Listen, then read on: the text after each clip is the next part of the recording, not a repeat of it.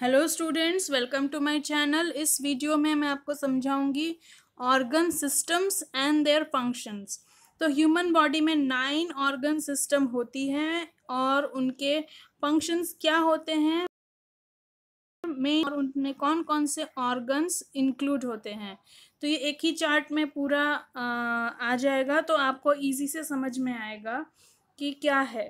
तो चलिए शुरू करते हैं। पहला वाला है डाइजेस्टिव सिस्टम डाइजेस्टिव सिस्टम हम सबने लोअर स्टैंडर्ड्स में बहुत पढ़ा है तो ये क्या करता है, जो भी हम फ़ूड इनटेक करते हैं, उसको स्मॉल स्मॉल पार्टिकल्स में कन्वर्ट करता है और ईजीली डाइजेस्टेबल फॉर्म में कन्वर्ट करता है और ब्लड स्ट्रीम में जो न्यूट्रिएंट्स हम खाते हैं, वो एब्जॉर्ब होते हैं। तो इसमें मेन प्रोसेस क्या होता है? इंजेशन डाइजेशन इंजेशन मतलब अंदर लेना। डाइजेशन मतलब फ़ूड के पार्टिकल्स को स्मॉल स्मॉल पीसेस में तोड़ना। एब्जॉर्बशन मतलब ब्लड में उस न्यूट्रिएंट्स को एब्जॉर्ब करना और इजेशन मतलब जो भी वेस्ट रह गया है, उसको बॉडी से बाहर थ्रो करना। तो ये ये मेन प्रोसेस होती है डाइजेस्टिव सिस्टम में। कौन कौन से उसमें ऑर्गन्स इंक्लूडेड होते हैं? तो mouth tongue pharynx oesophagus food pipe जो होते हैं उस, उसको इसोफेगस बोलते हैं। स्टमक स्मॉल इंटेस्टाइन और लार्ज इंटेस्टाइन और ग्लैंड कौन कौन से इन्वॉल्व तो salivary gland liver and pancreas are the associated glands जो कि जो हमारे डाइजेस्टिव सिस्टम है, उसके पास में ही उनका लोकेशन होता है, जो कि अपना जूसेस जो है, अपना एंजाइम्स जो है वो डाइजेस्टिव ट्रैक में पोर करते हैं, जिससे कि जो डाइजेशन की प्रोसेस है वो इजीली होती है।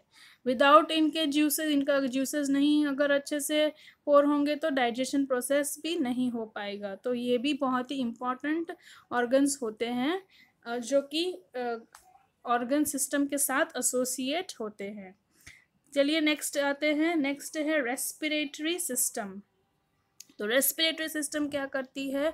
Exchange of gases between the organism and environment हम जो एनवायरनमेंट में जो ऑक्सीजन होता है, वो एनिमल्स वो ऑक्सीजन लेते हैं ह्यूमन बींग्स और जो भी बॉडी में कार्बन डाइऑक्साइड कलेक्टेड होता है लंग्स में, उसको बाहर रिलीज़ करते हैं।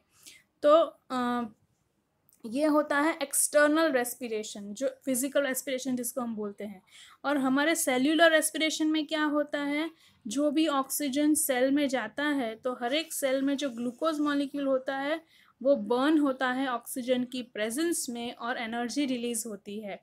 तो इस टाइप के एनर्जी रिलीज़ को बोलेंगे इंटरनल और क्या बोलेंगे? सेल्यूलर रेस्पिरेशन तो तो इसमें आएगा release of energy by oxidation of food तो दो तरह से रेस्पिरेशन होता है, एक फ़िज़िकल होता है एक्सटर्नल होता है और एक सेल्यूलर रेस्पिरेशन होती है। तो इसमें कौन कौन से ऑर्गन्स इन्वॉल्व रहते हैं? तो मेन ये सारे ऑर्गन्स इन्वॉल्व रहते हैं nostrils nasal passage nasopharynx larynx trachea bronchi bronchioles और लंग्स और एल्व्यूलर सैक जहाँ पे ये मेन ट्रांसफ़र होता है ऑक्सीजन और कार्बन डाइऑक्साइड का। तो लंग्स और उसके रिलेटेड पूरा सिस्टम आता है रेस्पिरेटरी सिस्टम में। पर उनका फ़ंक्शन दो रहता है, एक एक्सटर्नल रेस्पिरेशन और एक सेलुलर रेस्पिरेशन चलिए नेक्स्ट आते हैं सर्कुलेटरी सिस्टम सर्कुलेटरी सिस्टम क्या है? तो ये है जो ब्लड हमारी है फ्लो होती है आर्टरीज और वेन्स में, वो आता है पूरा सर्कुलेटरी सिस्टम में। हार्ट कौन कौन से ऑर्गन्स आते हैं? Heart arteries arterioles capillaries venules veins lymph and blood तो all this will come in circulatory system अब ये ये जो सर्कुलेटरी सिस्टम है, उसका जो फ़ंक्शन है वो क्या है? तो एक तो ट्रांसपोर्ट ऑफ़ न्यूट्रिएंट्स है। जैसे हमारे सिटीज़ में होता है ना रोड लाइन रोड्स होते हैं। अगर रोड्स नहीं होगा तो क्या होगा? रोड्स अगर नहीं होंगे तो फिर हमें जो ट्रांसपोर्ट है वो डिफ़िकल्ट होगा। एक जगह से जाना ट्रैवल करना डिफ़िकल्ट होगा। गुड्स नहीं पहुँच पाएँगे। अगर किसी को हॉस्पिटल जाना है तो हॉस्पिटल जाने के लिए भी बहुत प्रॉब्लम होगी। अगर कोई टेररिस्ट अटैक हो गई है तो उस जगह पे डिफेंस मैकेनिज़्म को भेजना भी डिफ़िकल्ट हो जाएगा। तो ये सारी प्रॉब्लम्स हो जाएगी। तो जैसे हमारे रोड के सिस्टम काम करती है, वैसे ही blood circulatory system, arteries, veins काम करती है। तो ये क्या काम करती है? ट्रांसपोर्ट ऑफ़ न्यूट्रिएंट्स का काम करती है। फिर रेस्पिरेटरी गैसेस जो है वो देती है। फिर hormones and minerals in the body वो ट्रांसपोर्ट करती है हर एक सेल्स को। फिर transport of waste products into into excretory organ for removal. ये बहुत इंपॉर्टेंट है। जो हमारा जो ब्लड होता है वो किडनी में जाता है। किडनी कौन सा ऑर्गन है? एक्सक्रीटरी ऑर्गन है। वहाँ पे ब्लड फ़िल्टर होता है और जो भी यूरिया है वो बाहर थ्रो हो जाता है। तो ब्लड का एक ये भी काम है कि transport of waste products to excretory organs for the removal ये भी बहुत इंपॉर्टेंट फ़ंक्शन है जो हम कई बार भूल जाते हैं सर्कुलेटरी सिस्टम में। तो आपको ये भी याद रखना है इसके साथ साथ तो चलिए नेक्स्ट पे आते हैं।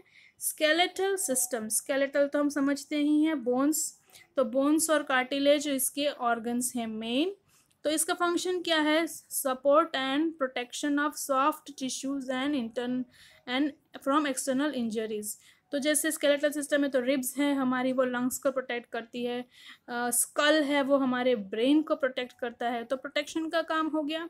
और हमारे हैंड्स जो है लिम्स और हैंड्स है वो हमारी और बैकबोन है, वो बॉडी को सपोर्ट करती है मूवमेंट में काम करते हैं। तो ये उसका मेन फ़ंक्शन हुआ। नेक्स्ट आता है muscular system muscular system muscles हम समझते हैं। तो इसमें कौन कौन से आ, उसके ऑर्गन्स हैं या सेल्स होते हैं? तो स्ट्रेटेड अनस्ट्रेटेड और कार्डियक मसल ये तीन तरह के मसल्स होते हैं। स्ट्रेटेड अनस्ट्रेटेड और कार्डियक मसल तो इनका क्या काम होता है? इनका काम होता है कि ये बोन्स के ऊपर लगे हुए होते हैं और जो टिश्यूज़ को सपोर्ट करने के लिए मसल्स मसल्स होते हैं।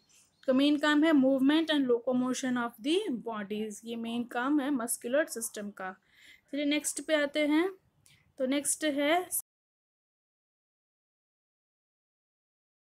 सिक्स है किडनी यूरेटर यूरिनरी ब्लैडर और यूरेथ्रा तो इन किडनी का मेन काम क्या है? Removal of metabolic waste to maintain homeostasis हमारे ब्लड में जितने भी मेटाबॉलिक वेस्ट होते हैं मोस्टली यूरिया है या एक्स्ट्रा सॉल्ट है या कुछ भी है तो वो फ़िल्टर होता है किडनी के सेल्स में. और वो थ्रो कर देता है बॉडी और मेंटेन होम्योस्टैसिस होम्योस्टैसिस मतलब क्या होता है? मतलब कि बॉडी में जो है वाटर और सॉल्ट का बैलेंस बनाए रखना। जब जब समर सीज़न होता है, तब बॉडी में पानी की ज़रूरत ज़्यादा होती है। तो किडनी जो है, वो यूरिन में से पानी ज़्यादा एब्जॉर्ब कर लेती है। तो हमारी यूरिन कभी आपने ऑब्ज़र्व किया हो तो समर सीज़न में बहुत ही डार्क येलो कलर की होती है। वो पानी कम होता है और उसमें वेस्ट का कॉन्सेंट्रेशन ज़्यादा होता है। जब विंटर सीज़न में हमारे बॉडी को पानी की ज़रूरत कम पड़ती है क्योंकि इतना टेम्परेचर नहीं होता है तो जो यूरिन है उसका कलर बहुत ही लाइट येलो सा रहता है। तो ये जो पूरा बैलेंस है वो कहाँ पे होता है? किडनी के किडनी में होता है। तो एक तो वो रिमूवल ऑफ़ वेस्ट तो करता ही है, पर साथ साथ में क्या करता है? मेंटेन होम्योस्टैसिस ये बहुत इंपॉर्टेंट फ़ंक्शन है किडनी का। चलिए नेक्स्ट पे आते हैं तो नर्वस सिस्टम नर्वस सिस्टम कौन से ऑर्गन्स आएँगे इसमें? तो brain spinal cord sympathetic parasympathetic nerves and sense organs तो सेंस ऑर्गन्स क्या करते हैं? जो भी चेंजेस इन द एनवायरनमेंट है वो सेंस करते हैं और ब्रेन को सिग्नल देते हैं। और ब्रेन uh, जो है वो वापस रिप्लाई करता है कि क्या एक्ट करना है। तो उसका फ़ंक्शन क्या है? रिस्पॉन्स टू स्टिमुलाई स्टिमुलाई मतलब any change in the environment वो स्टिमुलाई हुआ। अब coordinate and regulation of activities by transmitting information हमारी बॉडी में हॉर्मोन्स की ज़रूरत है, हमारी बॉडी को अभी रेस्ट की ज़रूरत है, हमारी बॉडी को अभी भूख लगी है, ये सब कोऑर्डिनेशन जो है वो भी ब्रेन करता है। हमारा हार्ट जो है वो अपने आप चलता रहता है, हमारी ब्रीथ जो है वो अपने आप चलती रहती है, ये सब भी कहाँ से होता है? कंट्रोल ब्रेन से होता है। तो टू टाइप्स ऑफ़ कंट्रोल होते हैं ब्रेन्स के।